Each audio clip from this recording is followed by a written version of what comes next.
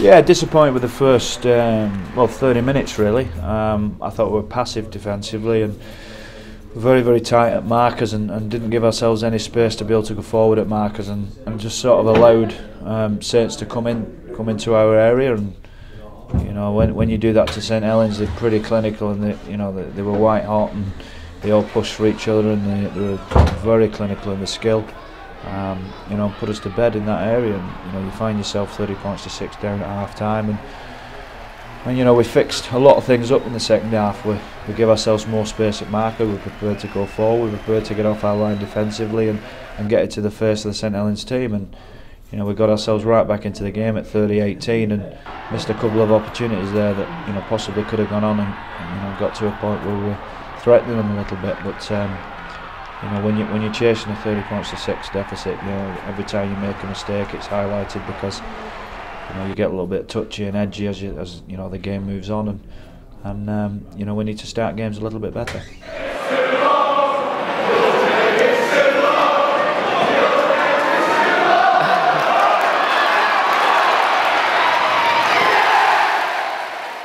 It always worries me when you come up with a couple of, uh, we got a couple of tries early, and that often sends a message to your side that they're going to win comfortably. And as I said, I knew this side had some strike weapons. I knew they'd been building, and I knew it was going to take a little while for them to find their feet. And you know, as the game wore on, they did find their feet, and um, you know, we didn't show them the respect we should have done. Well, we played good footy in the first half, you know, and uh, we worked on a lot of things through the week, and and the players played to how we wanted to play, and they got the results, and it was very promising, you know. And it, uh, and as I said up to half time, it was probably 40 minutes of the best football we've played all year.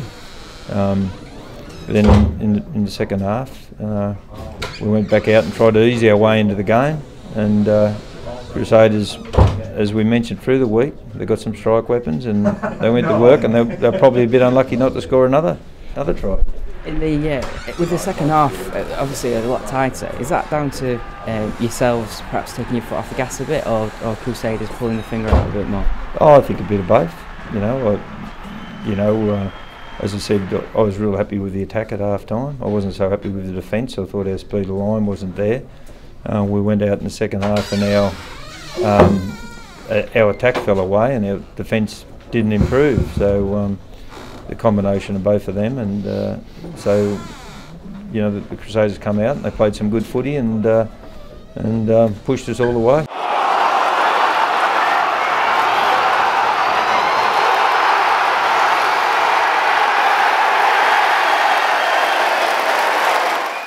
And a, a, word for James Roby, he just seems to, to, look better and better with every game he plays.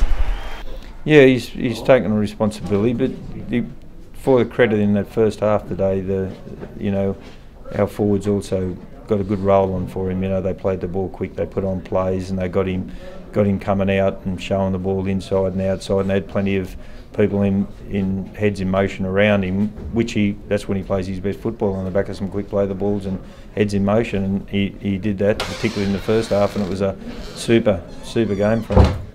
Uh, yeah, it was a good good 30 minutes. The, the boys come out there and uh, they played they played very good for the first, the first 30.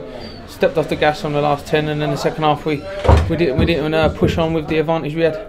And uh, how are you feeling? It's your second game since um, since your injury. How are you feeling? Yeah, I'm feeling all right. I was uh, a bit disappointed with my performance tonight, but other than that, uh, all the boys played well. But we got the two points in the end, so it was all right. I thought the Crusaders come out stronger as well, and we, we, we stepped off the gas a bit and but, but as a team, we, we, we st still had the fight in us to come away with the two points, so it was alright. And uh, a word for James Roby, he was excellent again today.